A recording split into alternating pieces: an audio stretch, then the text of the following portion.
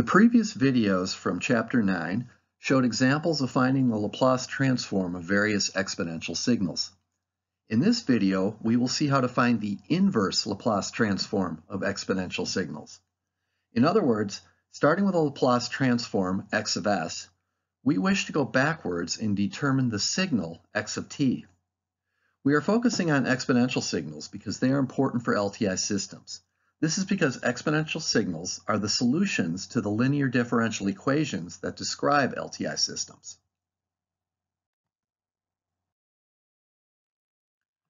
The formal definition of the inverse Laplace transform is shown here. Notice that this is an integral. In fact, this is called a contour integral in the complex plane.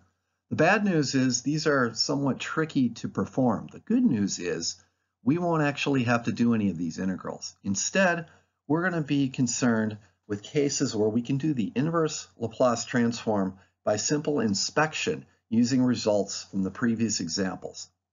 Let's look at some examples.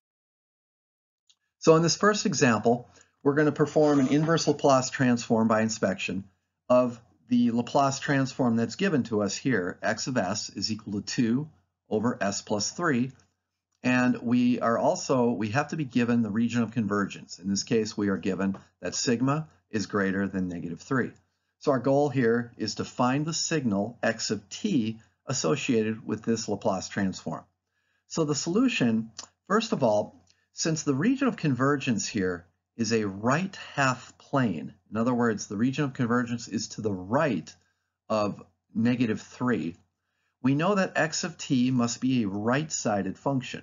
Now this comes from region of convergence property number four, which are summarized, all the ROC properties are summarized in the lecture notes. So we're going to use the Laplace transform pair for a right-sided exponential signal, which is shown here.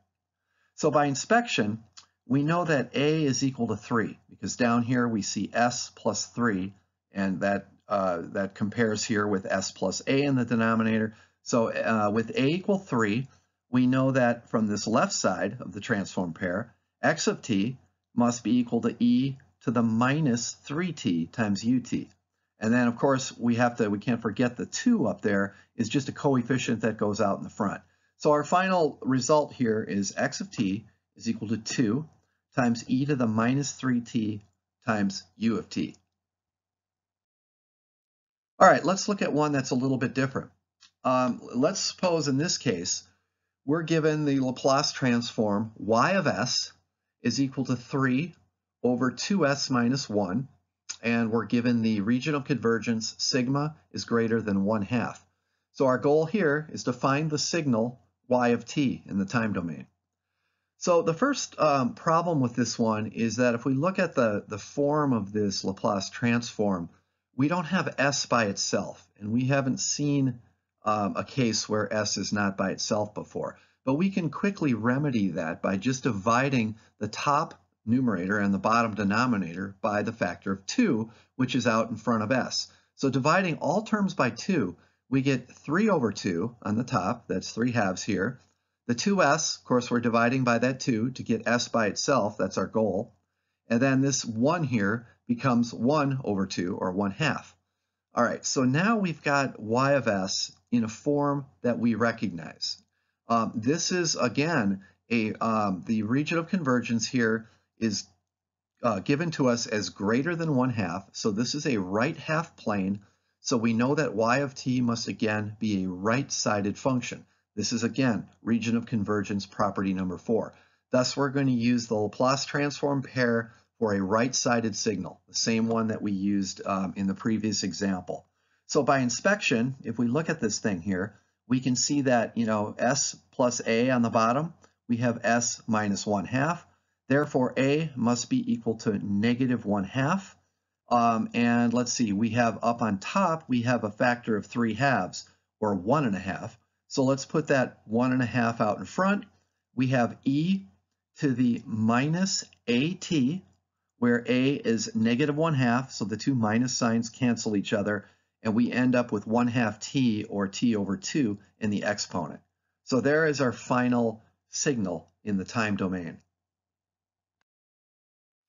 Um, let's do another one here. This one's a little bit different.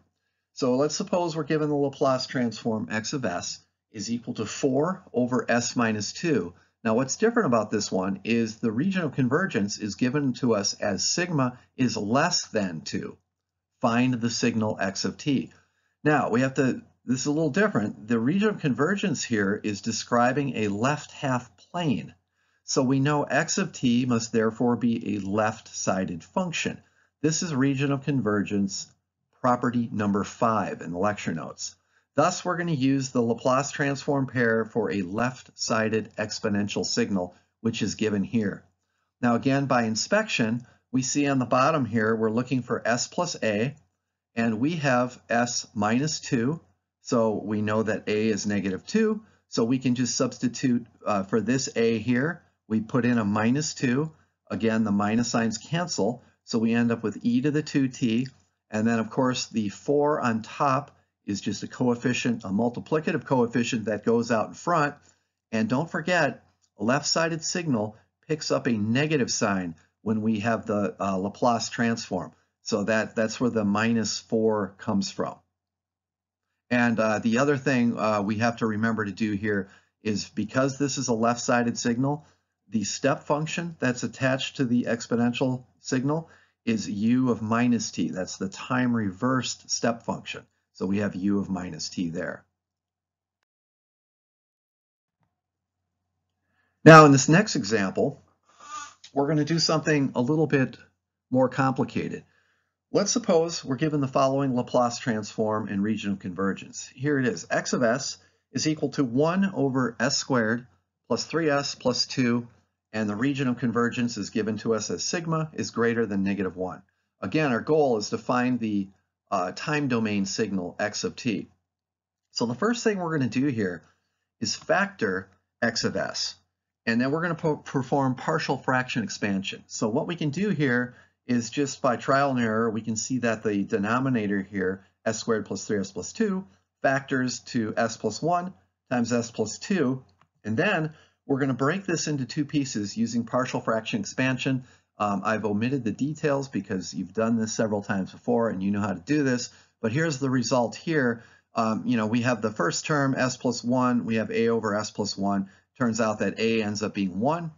And for b um, over s plus 2, the second term, uh, b ends up being minus 1. So we pick up the minus sign here, minus 1 over s plus 2.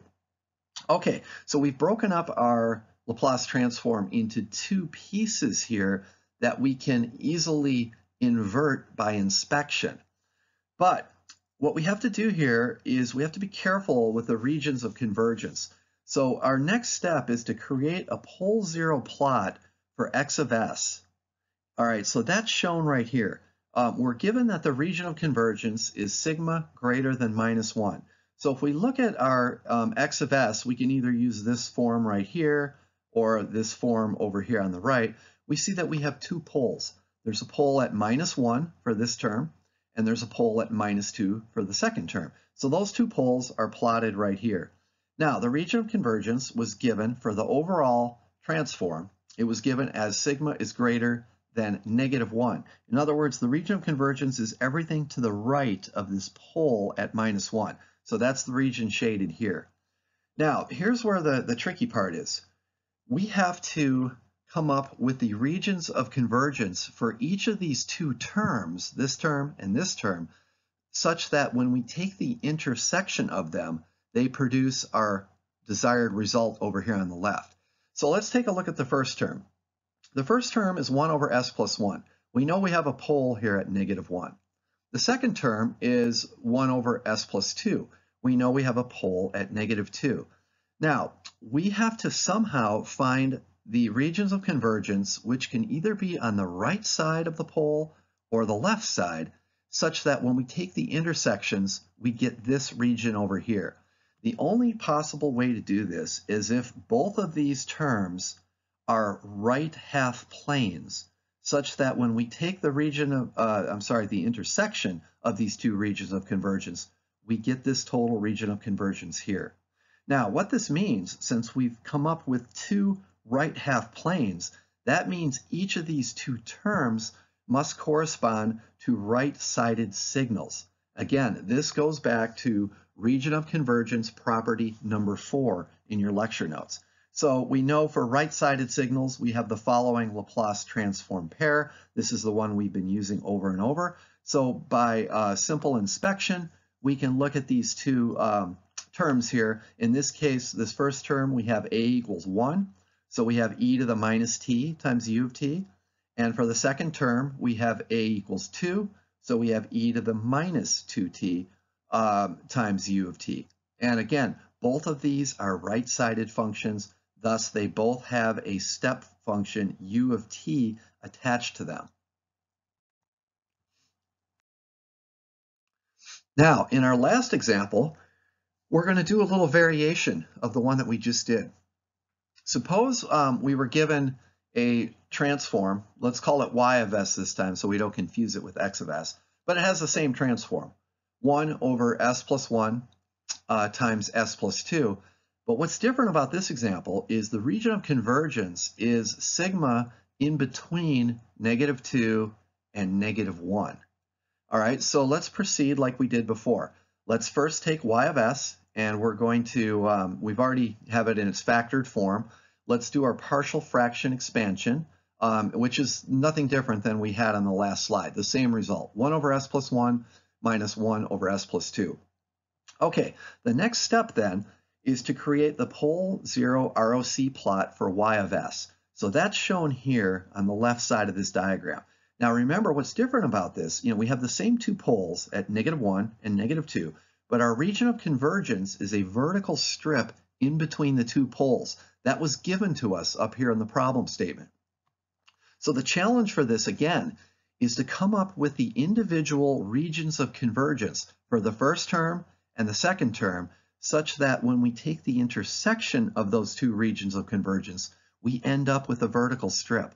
Well, the only way to do this is that this first term must be shaded to the left of negative 1, and the second term must be shaded to the right of negative 2, such that when we take the intersection of these two, we get the desired result, this vertical strip between negative 1 and negative 2. All right, so what does that tell us about the function then? Well, this is a left half plane which means we have a left-sided function. All right, so for a left-sided signal, all right, we have this uh, Laplace transform pair down here. And so we have to remember there's a minus sign in there. That's where the negative sign comes there. Um, by inspection, you know, we see again, A is 1. So we have e to the minus at, or just e to the minus t in this case. But what we have to remember is that the step function here is u of minus t. That's right here for left-sided signal because this one goes to the left. Now the second term, the 1 over s plus 2 term, well, that is a right half plane for its region of convergence, which means it must be a right-sided signal.